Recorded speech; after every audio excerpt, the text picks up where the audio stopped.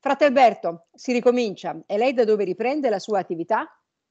Sì, riprendiamo timidamente, ce n'è bisogno perché in questi incontri preparatori che stiamo facendo abbiamo trovato le persone e naturalmente anche noi come arrugginiti quest'anno e mezzo e più di mobilità ci ha come bloccato. Allora eh, bisogna riprendere adesso alla metà ottobre, riprendiamo con un incontro sull'Angelo, poi vediamo e tutto dipende da questo Covid e come, come va avanti, di riprendere l'attività. Comunque c'è un grande desiderio di riprendere da parte delle persone di incontrarsi, di rivedersi, ma voi metterete in atto tutte le misure che sono state previste dal governo, cioè Green Pass per gli incontri in presenza, insomma come vi regolerete? Sì, cert- certamente il Green Pass in assoluto, anche perché chi viene a un incontro sul Vangelo si presume che abbia una certa sensibilità, un'attenzione al bene comune. Quindi i no no tutto, no questo, no quest'altro, eh, se vengono sono sopportati ma non sono graditi. E il tema dell'incontro del 10 ottobre quale sarà?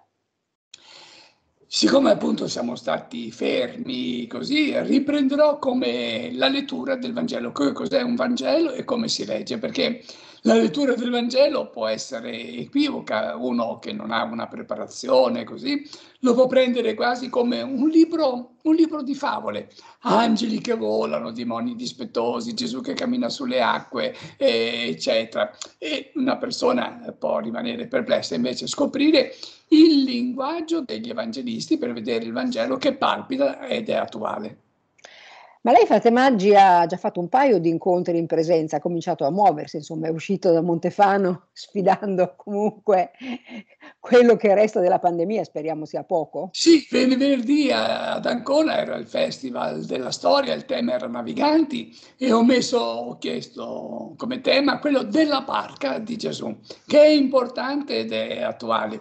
Ci siamo mai chiesti come mai nei Vangeli ogni volta che Gesù dice ai discepoli andiamo all'altra riva, puntuale si scatena la tempesta. Io dico, ma Gesù, potevi guardare un po' il tempo per vedere com'è possibile che ogni volta che dice andiamo all'altra riva si scatena la tempesta? Perché l'altra riva è la terra pagana. E che cos'è la tempesta? Sono i discepoli che non hanno nessuna intenzione di andare a condividere con i pagani, con gli impuri, il messaggio di Gesù. Quindi è un tema attualissimo dell'accoglienza e dell'altro. Però lei è stato anche a Bologna, mi risulta. Ho letto sul suo profilo Facebook, lei è attivissimo sui social. Sì, a Bologna era la conclusione della tre giorni di Alermo di Ronzano, il tema era Io sono, che ha iniziato Riccardo Perez, e il terzo giorno, quello conclusivo, Io sono la resurrezione e la vita, con l'episodio importantissimo, una volta compreso, della risurrezione di Lazzaro. Tanto per rimanere in tema di eventi, so che è stata scoperta a Milano una targa dedicata a Carla Fracci, il marito Beppe Menegatti, che peraltro è stato da lei quest'estate, l'aveva anche invitata, insomma, com'è andata?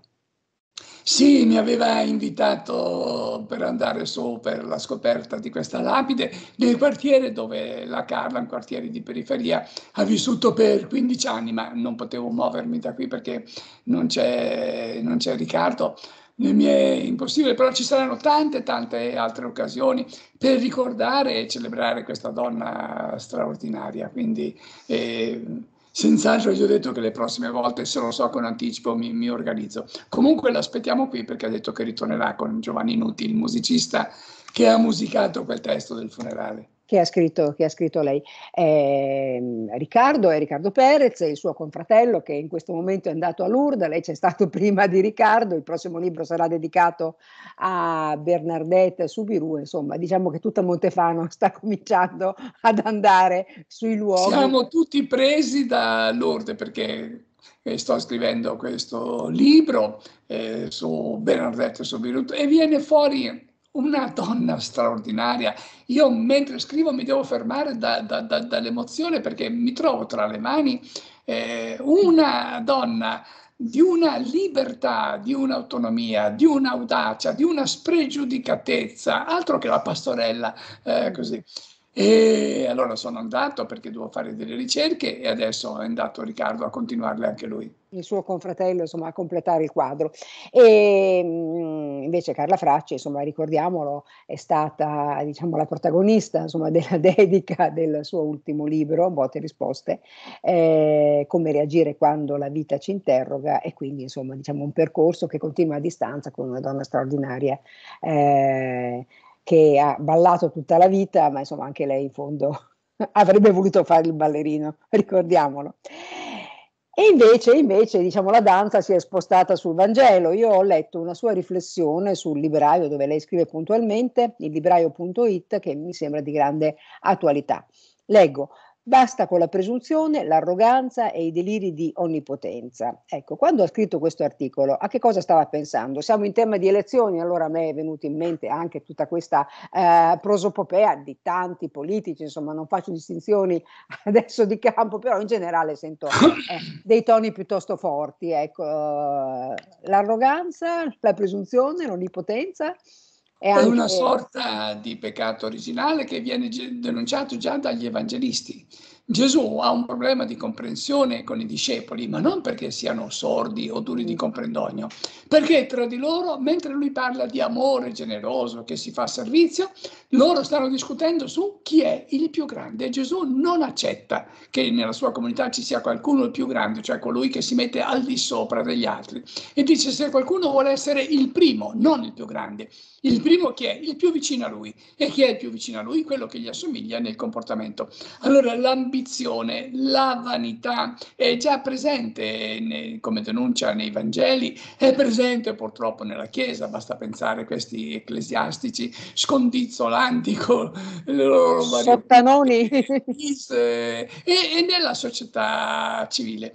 Ma è una denuncia della pochezza e della miseria delle persone. Più hai bisogno di orpelli, di abiti, di, di distintivi, di titoli, più stai smascherando te stesso, denunci che sei una povera persona e hai bisogno di tutto questo per, per ricoprirti. C'è nel Vangelo la denuncia che l'Evangelista Luca fa del ricco, eh, quello dell'episodio di Lazzaro. Lo descrive con una pennellata. C'era un uomo ricco che vestiva di porpora di bisso. La povertà interiore la mascherava con lusso esteriore. Quindi è un monito, un campanello d'allarme. Attenti a queste persone. Attenti. E io ho visto anche il commento al Vangelo de- dell'ultima domenica, insomma, che comincia con questa frase: Gesù insegna ai discepoli come liberarsi dai demoni. Eh, questi demoni chi sono? E noi ci dobbiamo fare i conti anche oggi.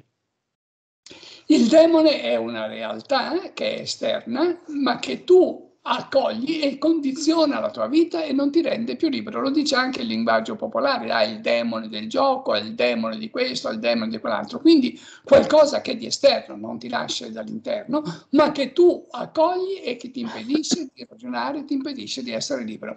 Allora di indemoniati oggi ne troviamo molti, sia ecclesialmente, eh, sia a livello sociale, a livello politico.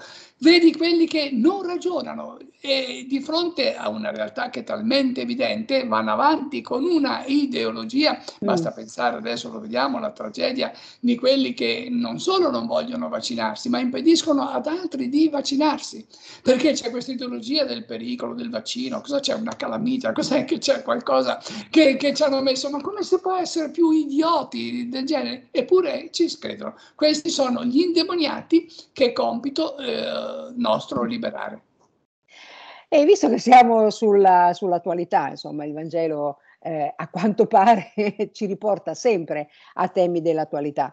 Ecco, qual è la notizia di questi giorni che l'ha più colpita? Eh beh, è, è di oggi, sei morti nel lavoro. È una strage da quando è iniziato l'anno e c'è la ripresa dei lavori, per fortuna, ma è una strage perché alla base di ogni tragedia, di ogni disgrazia, c'è sempre l'interesse, il profitto. Non ci sono i sistemi di sicurezza per mandare il macchinario più, più veloce, produrre, produrre, produrre e poi se muore un operaio non è mica la fine del mondo, c'è la fila eh, dietro la porta di persone che vogliono prendere il posto. Quindi sistemare e mettere a norma un macchinario costa, se muore un operaio va bene, si fa un po' di lutto. Questa è la grossa tragedia che c'è già nei Vangeli. Quando Gesù, ritorniamo agli indemoniati, libera l'indemoniato e i demoni vanno in una mandria di porci, se ne affogano 2000 nel lago, un danno enorme, ma dopo l'indemoniato ritorna sano. Ebbene, i mandriani mica applaudono, bravo Gesù che ci hai liberato questa persona, gli dicono Gesù ci costi troppo caro, per favore vai a fare i tuoi miracoli da un'altra parte. Allora la domanda è questa, quanto siamo disposti a pagare per la libertà, la sicurezza della persona. Quindi alla base di ogni tragedia c'è sempre il profitto per produrre di più a scapito del bene della persona. Frate Maggi, lei ha proprio anticipato insomma, un tema che io avrei sviluppato nel corso di questa nostra chiacchierata, perché il 10 di ottobre è proprio la giornata nazionale promossa dall'AMNIL eh, per eh, le vittime, per tutte le vittime del lavoro. Insomma. Quindi una tragedia che come vediamo si rinnova tutti i giorni, insomma, che l'AMNIL ricorda in una giornata che si svolgerà su tutto il territorio nazionale, in particolare diciamo, in, in, in Liguria. Ecco, ma eh, che cosa vogliamo dire poi alle famiglie di queste persone che si vedono eh, orfane di, di, di, un marito, di un padre, eh, di una persona cara, insomma c'è uno spot che l'Amni sta promuovendo veramente toccante in cui si vede un figlio insomma, che va sul cantiere del padre, che però va avanti, il lavoro va avanti e il figlio invece eh, ha perso un genitore, insomma quindi si può fare a meno di questo operaio, però in fondo la, la, l'attività eh, va avanti non curante e anche gli altri operai vanno avanti perché hanno bisogno di, di lavorare alle stesse condizioni, quindi eh, senza sicurezza. Cosa vogliamo dire a queste persone? Credo che dai Vangeli e anche dal sapere umano venga fuori questa realtà. Purtroppo non si può rimediare al male passato, al danno fatto, non è possibile rimediare, però è possibile modificare il comportamento nel presente. Quindi ci sono state queste tragedie tremende sul lavoro, allora tutto l'impegno, anche se costa, chiaramente costa, costa perché non succedano più, non si deve morire nel lavoro. C'è, mettiamoci anche a volte un po' di imprudenza anche da parte eh, delle persone, minimo, ma imprudenza perché spesso sono pressati per andare più in fretta, per lavorare più agevolmente, quindi non mi metto il casco perché così sono più comodo, eccetera. Ma ripeto, alla base di tutto c'è la convenienza, il grande rivale, il nemico di Dio. Allora, non si può rimediare al male fatto, ma si può modificare il comportamento presente. La salute dell'individuo al primo posto come valore non negoziabile. Frate Alberto, direi che il messaggio è molto chiaro, insomma, quindi anche chi resta può essere testimone per altri affinché queste mentalità cambino, insomma, e quindi trasformare una cosa eh, bruttissima, una cosa orrenda in una risorsa anche per chi, per chi poi continuerà a lavorare. Insomma, quindi non tutto il male in fondo eh, deve restare eh, così, ma eh, può essere anche una opportunità, è una brutta parola, però insomma per poi trasformare diciamo, quello che di negativo c'è in qualcosa di positivo per il futuro. Sì, certamente questo bisogna impegnarsi e ripeto, Costa, io ricordo qui eh, una nostra esperienza anni fa dovevamo fare dei lavori di ristrutturazione e noi, noi controllavamo ed esigevamo che gli operai andassero imbragati e loro loro stessi, gli operai, protestavano, dice ma no, per Alberto, se così ci mettiamo più e viene a costare di più. Ho detto, voi non preoccupatevi del costo, il costo di, dipende da noi, non ci interessa, ma la vostra salute, la vostra sicurezza viene prima di tutto. Quindi erano gli stessi operai che volevano togliersi le imbracature, i caschi, perché così lavoravano più agevolmente. E, e tutto di, eh, di nuovo ritorna il lato economico. Quando l'economia prevale sul bene della persona, ecco questo nei Vangeli, questo è il diavolo, questo è il demonio da cui bisogna liberarci. E quindi insomma ognuno di noi può, può fare la sua parte. Eh, frate Alberto, tra gli incontri di questi giorni ce n'è anche uno eh, che eh, si intitola Provvidenza e, e libero arbitrio. Lei eh, farà un confronto insomma, con uh, un filosofo palermitano, Giuseppe Savagnone, insomma, su, su questo tema. Allora, la provvidenza, che cosa dicono i sacri testi? Dunque, la prima volta che sentì pronunciare la parola provvidenza ero molto piccolo nei racconti di papà. I miei, io sono nato nel 1945, quindi appena terminata la guerra, non avendo casa, gli alloggi ad Ancona c'erano stati bombardamenti, e vivevano in coabitazione con una ricca possidente terriera. Eh, erano porta a porta. Ebbene, tutti i lunedì dalla campagna arrivava il contadino che davanti alla porta di questa signora depositava sacchi di farina, di patate, uova, eccetera. E questa signora che era molto pia, molto devota, sempre con il rosario in mano, quando vedeva papà dice Alfredo ha visto mm. la provvidenza che si è ricordata di noi. E una, due volte. Un giorno papà ha sbottato, ha detto, ma sta provvidenza non sbaglia mai porta, siamo, mm. siamo vicini, perché sta provvidenza va sempre nella porta tua e, e mai della mia? Allora, che cos'è la provvidenza? Non è un qualcosa che cala eh, dall'alto, ma è un'espressione del nostro amore, della nostra generosità. Papà non credeva nella provvidenza, ma se questa pia bigotta signora gli avesse detto Alfredo, oggi mi è arrivato un sacco di patate, io sono sola, ne tengo un po' lei per la sua famiglia, per il suo bambino, papà ci avrebbe creduto. Quindi insomma la provvidenza siamo anche noi, insomma non è qualcosa che ci arriva dall'alto. Ecco, ma eh, è compatibile con il libero arbitrio, insomma la volontà di eh, fare o non fare qualcosa oppure no?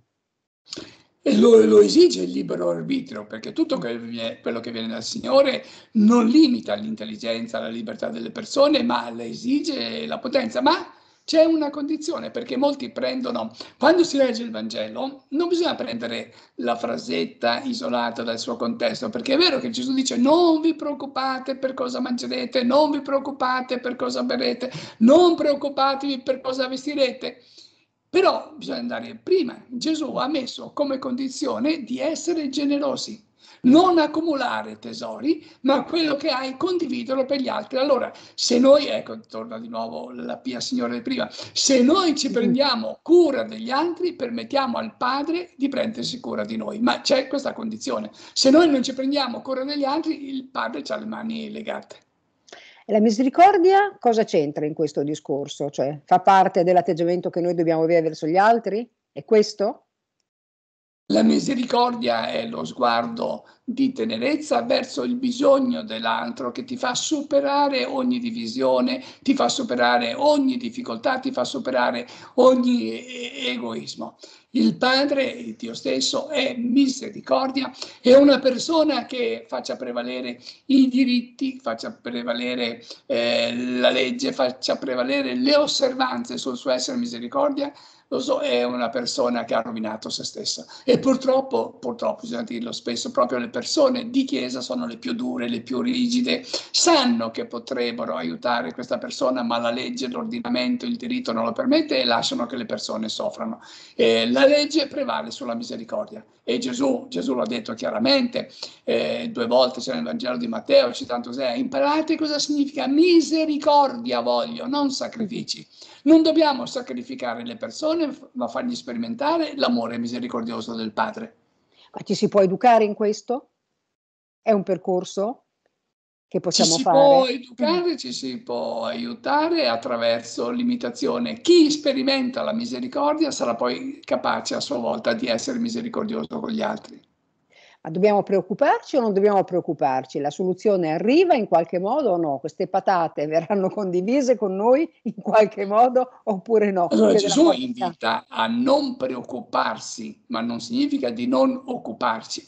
Gesù fa un esempio, dice guardate gli uccelli del cielo che non seminano, eh, non mietono, non raccolgono e il Padre li nutre. Tradotto, quanto più voi che eh, seminate, mietete, raccogliete il Padre se ne occuperà, quindi non è un invito a un fatalismo, Dio, Dio provvede, no, è di nuovo questo dinamismo. Dio è presente qui con il suo amore. Se noi il nostro amore lo comunichiamo agli altri, ecco questo dinamismo di amore ricevuto e amore comunicato, ma è tutto a nostro vantaggio. Dare non si perde mai, più si dà, più si guadagna. Ecco perché i grandi, i santi lo hanno capito, perché si spogliavano, non per un senso di ascetismo, di povertà, ma hanno capito il significato della vita. Più dai e più ti dai agli altri e più ricevi, quindi è per un guadagno personale. E infatti è una delle frasi che lei dice più spesso è che ne ha di fantasia il Padre Eterno, ma a volte anche esagera, insomma, vale solo per lei, vale per tutti. Eh, c'è qualche esempio insomma, che lei ci può portare qualche esempio concreto? Siamo immersi nell'amore di Dio, proprio inzuppati, impregnati. Perché lo percepiamo così poco? È una questione di braccia, sono braccia piccole, braccia limitate che non riescono ad accogliere la grandezza e la pienezza di questo amore. Allora ecco di nuovo ritorno e mi ripeto questo dinamismo di amore ricevuto e amore comunicato. Se noi siamo amorosi, misericordiosi, benevoli e condividiamo con gli altri, sperimentiamo cosa significa far parte di questo disegno, questo progetto d'amore. Ma quanto coraggio occorre per amare?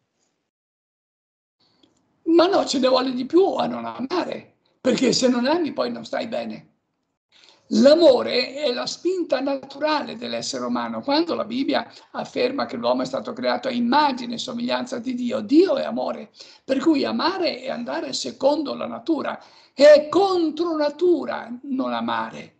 Chi, conosciamo tutti persone che non perdonano. Allora questo rancore dentro di sé è come un cancro che cresce perché si nutre da se stesso, ingigantisce il male, il torto fatto. Sono persone che diventano brutte anche di, di, di faccia. Quindi non amare eh, essere avidi, essere egoisti, essere incapaci di perdonare, significa andare contro la propria natura, significa farsi danno.